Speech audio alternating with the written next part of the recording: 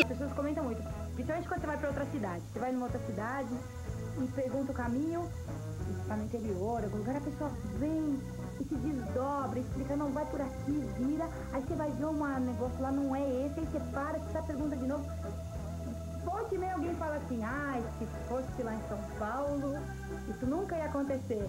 E é verdade. Quantas vezes aconteceu em São Paulo? Né? Já aconteceu comigo várias vezes. Você pediu uma indicação, pediu um caminho, e a pessoa se desdobrar, e ser super solista. É tão legal isso, mas às vezes não. Às vezes a gente guarda mesmo aquele cara que foi estúpido. Se lembra daquilo anos depois. Ah, eu acho melhor não. Eu acho melhor não que eu só, até parece que eu consigo ficar livre disso, mas eu tento.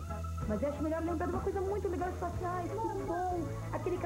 Carona de guarda-chuva um dia, que eu tava ensopada e o cara, não, onde você vai? Vem comigo no guarda-chuva. Pô, muito mais.